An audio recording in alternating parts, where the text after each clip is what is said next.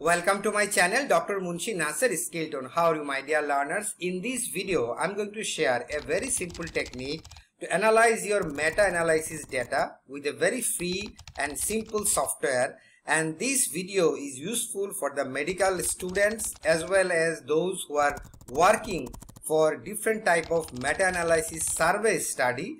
This video is immensely important. So without wasting any time, let's get started.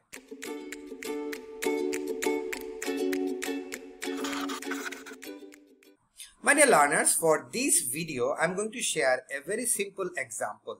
With this example, you know how to analyze your meta-analysis data. Now, in my previous video, I have discussed different type of effect sizes. And for that particular reason, you can always refer to doing meta-analysis in R. This is a free book available online. I will share the link in my description box here you can see different type of effect sizes. One of the effect size called the mean difference, then proportions and correlation. Normally in the mean differences we already have discussed but now I'm just highlighting there are two important criteria or technique that we apply. One is called the Hedges D, the other one is the Cohen's D. It is very simple. There are two groups and we collect the two groups mean and then we try to compare the two groups mean using the Hedges D or Cohen's D analysis to find out whether there is a heterogeneity or homogeneity presence in your data. Simple. Then we have proportions. In this case, if your dependent variable is a binary one, in that case we use risk ratio or odds ratio. I may discuss this proportion in my next couple of videos. Hopefully you will watch that as well. And final one is the correlation. I already shared one video based on the correlation or R analysis which is R is a representation of the correlation statistics. So that is, that is when your independent variable or the research objective is to find out the correlation between dependent variable and the independent variable. For this particular video, we are going to check the means difference. Why it is important? Because in a medical term, you will find that there are two important groups always present. One is control group, the other one is the treatment group. So we may use one medicine in the control group or treatment group, especially in the treatment group and without medicine control group and we would like to see what is the effect of that medicine in these two particular groups. Whether there is a change or what type of changes mentioned in different studies across the country or across the world in a long time period of time and therefore we use the meta-analysis technique right? So we need to know the results of the two studies. For example same drug is applying in two different groups using different studies whether these are coming the same results or the across the studies the results vary. That is our objective so to fulfill that objective, we use a simple study here and this study called the systematic review meta-analysis of the evidence on learning during the COVID-19 pandemic. So this is the title of the study and in this study we're trying to find out before COVID and after COVID what is the learning duration or the learning outcome comes for this pandemic hit. So pandemic is one of the intervention and the two groups here after pandemic or post pandemic and before pandemic okay? So in this case we don't go thoroughly because this uh, paper i'm going to share in the video description box you can check it very easily. What i would like to mention here is the measurement technique. So if i go down and you will see this is the measurement and standardization technique. So we standardized? All estimates. Here basically the mean is our estimates because as you know in the meta-analysis the effect size based on mean proportions or correlation. So here the, the estimates based on the means. So means of uh, estimates of learning deficits during the pandemic using Cohen's D. Difference between Cohen's D and Hedges D I already explained my previous video but in this case just to simplify Cohen's D and uh, Hedges D both standardize the means but the only difference is in the Cohen's D it is more bias corrected which express the effect sizes in terms of standard deviations. So here we are using standard deviations and the mean differences. Now Cohen's D is calculated as the difference in the mean. You see mean learning gain in a given subject, maths or reading, over two comparable periods, as I said, treatment group and control group, which you, you often come across in the medical science, before and after the onset of the pandemic, divided by the pooled standard deviation of learning progress in this subject. So how to calculate this Cohen's d or Hedges d? Very simple one. x1 is the mean of one group, x2 is the mean of other group divided by the standard deviation. This is the pool standard deviation. And how to find the pool standard deviation? Very simple standard deviation of one group, standard deviation of other group, square it and divide by 2, you will get the pooled standard deviation.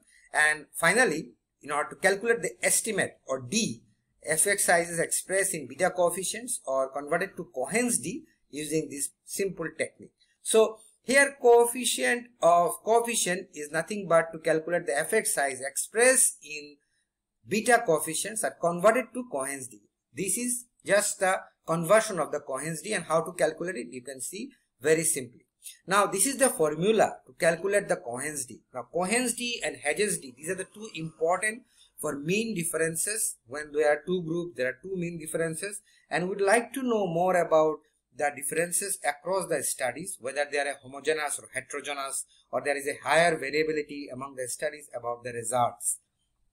Now for that reason here is a sample data.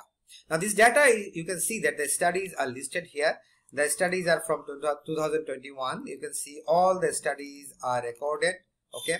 And as you can see here that the studies are divided into primary and secondary studies. Grades are differences, age group, date, months, subject, country. So across the country is very important. Why? Because if we see that there is a higher heterogeneity among the estimates, then we may go for a subgroup analysis. So quite often you might ask that when we should go for a subgroup analysis, it is, it is the time when there is a higher heterogeneity in the estimates. And how do we find the higher heterogeneity? Very simple.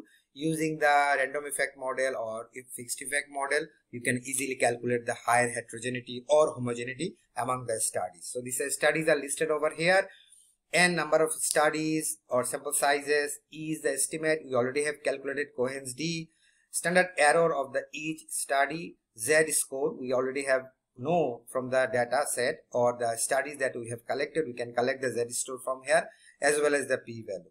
So this is the data set of the study that I just mentioned about the COVID-19 effect.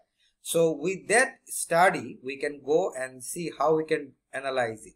So I'm using JASP, a free software. As I told you, I always use free softwares for your simplicity. So this is the sample data and how do you upload the data? Just go to the JASP data, this three bar and go to the computer and you go and see that meta-analysis. You can click this one, the my data set and this is my recent file sample data. So once you upload it, it will be appear like that. So data, date, month, subject, country and study ES, uh, SEZ, all these are very similar to the Excel file. Now once we upload the data set, we go strictly to the meta-analysis part and you can see here that meta-analysis are over here. You see meta-analysis. Click here because we are using simple classical meta-analysis. Click the meta-analysis. Now as you can see here there are two important box effect size and effect size estimate standard error. We already know the effect size ES is the effect size and we already know the standard error. So once we, we once we uh, select these two, the data is already calculated. So estimates are tau, tau square, h square, i square, all are given over here. Now you can use the fixed effect maximum likelihood Hedges D. So let's say we are calculating the, with the Hedges D. So the, the Cohen's D and Hedges D are mainly based for the mean differences between the two groups. So we are using the Hedges D as their estimates because our calculation is Cohen's D. So Cohen's D, Hedges D, there is no much differences. And we can go for a model and then we go for a statistics. If you go to statistics, you can click the forest plot to find out the heterogeneity among the studies.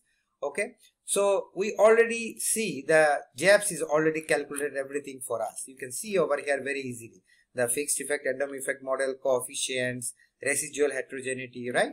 And the plot as well. So all these information are given very nicely using the JASP software. Now the question is, doctor, how to interpret it? Okay, so there are two way you can interpret without taking any other cell. One way is to just to open the word file paste everything over here and then save this file save this file as a pdf save this file as a pdf okay? You can see here desktop uh, save this file as a pdf okay? Once you save this file as a pdf go to the scispace.com scispace and go to the copilot option. These are all free.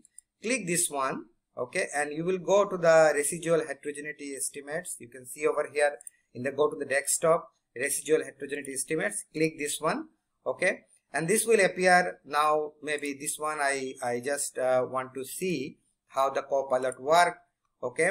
And then once the copilot uploaded the file just like i shared here it will appear like this in front of you. So the Scispace is a free software and now all the results are over here. These results I take it from here one, two, three results.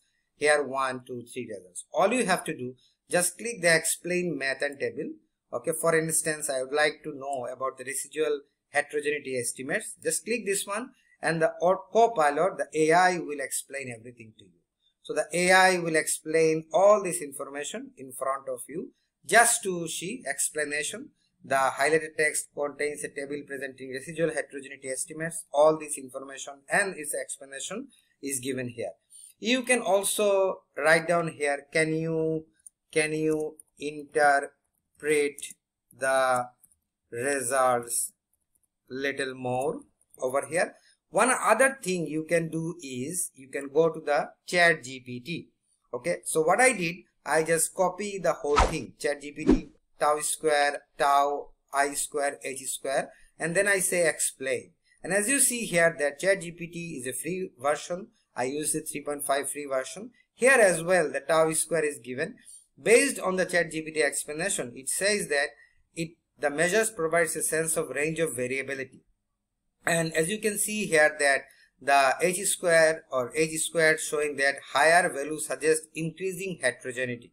So among the studies that we have collected, there is a higher variability among the studies. So the results are not accurate among the among the studies. The different results are coming from different studies. So there is a higher heterogeneity. So we cannot conclude that yes, COVID-19 has a significant impact on the learning outcome of the students across the countries over all over the world.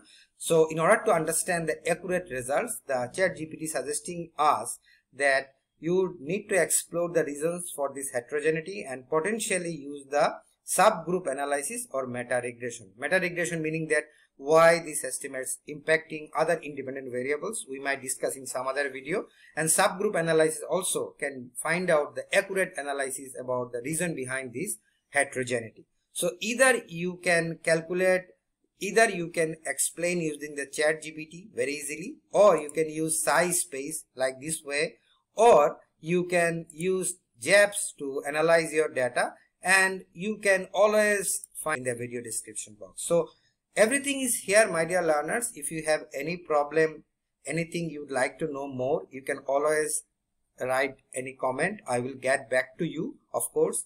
Our today's video's main idea is to use a simple data set using free JASP software explain using Scispace or ChatGPT the results and finding out the interpretation of the results of Cohen's d or Hedges d meaning that the mean differences between the two groups control and treatment group. This video is useful particularly for medical students and those researchers who are using survey methodology using the two groups.